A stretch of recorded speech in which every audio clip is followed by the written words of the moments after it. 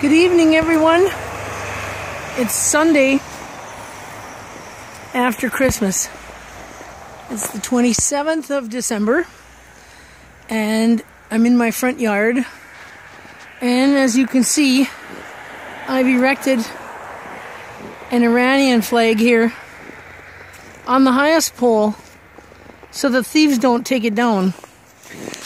and that's the reason I have it way up there and in my front yard because they stole one that was over at the Veterans Park display. And I don't want this one stolen. It's the right size to fit with my display. And it is above the Saudi bloodied flag and the American bloodied flag. And it's also above the Israeli bloodied flag that hangs right by my globes out here, my two globes. And so that's my latest addition to my front yard is my kind of tiny Iranian flag. There you can see it. As well as my little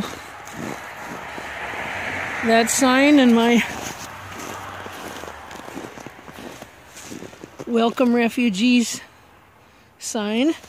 And this one is kind of hard to see. This little boy is afraid of a drone. And on there it says, I am scared. Please, God, don't let a drone kill my family or dog. He's got a little brown doggy with him. It's kind of hard to see. It's dark out here almost. Thanks for watching. Stay tuned. And no damage during the night last night over to the display at Memorial Park. I checked it out earlier today. All right, take care. God bless. And happy holidays.